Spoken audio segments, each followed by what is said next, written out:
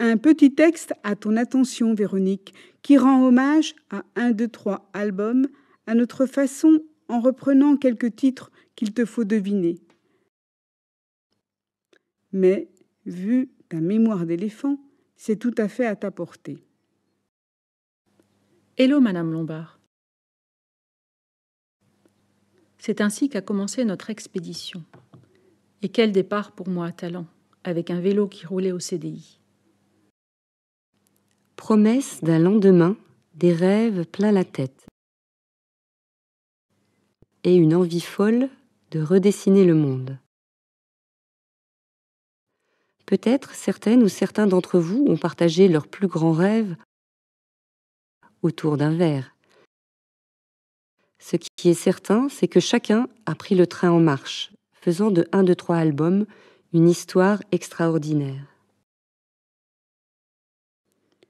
Une révolution était en marche dans notre façon d'animer, d'enseigner et d'accompagner nos différents publics. Des rencontres intergénérationnelles, on en a eu un paquet, partout faisant conjuguer past and present avec humour, rire souvent, pleurs parfois.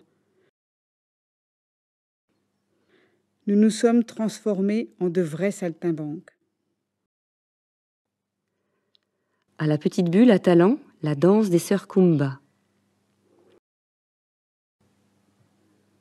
Au collège de Talent, les tam-tams au son de la voix d'or de l'Afrique.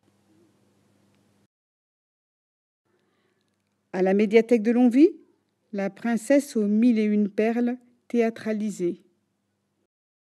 La belle vie, on l'avait à portée de main. Toutes ces rencontres qui nous ont dévoilé la vie des gens, d'où l'on repartait ému et toujours grandi. Des héros ordinaires du quotidien, petits ou grands, jeunes ou vieux, ont ouvert leur cœur et les histoires des uns et des autres faisaient écho aux albums partagés. Voilà l'incroyable exploit de un de trois albums qui nous a ouvert de nouveaux horizons. Un air de liberté à l'éducation nationale.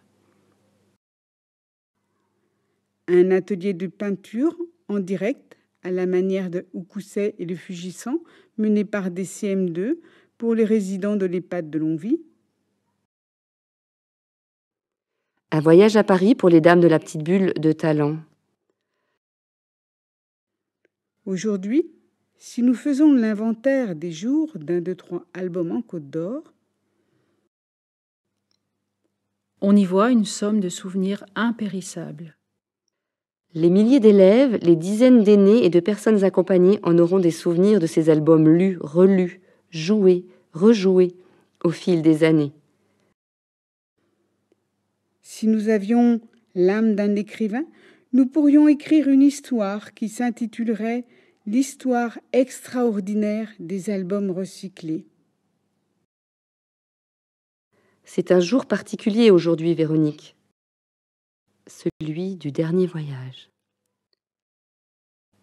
On sait tous ici que tu as usé tes souliers pour arriver au bout des rails, dans nos médiathèques, nos écoles, nos collèges, nos lycées, nos services sociaux, nos hôpitaux, et que tous ces kilomètres avalés et le travail colossal accompli avec ton immense cœur si généreux t'a donné quelques rides au passage, mais n'éteindra jamais en toi la flamme sacrée.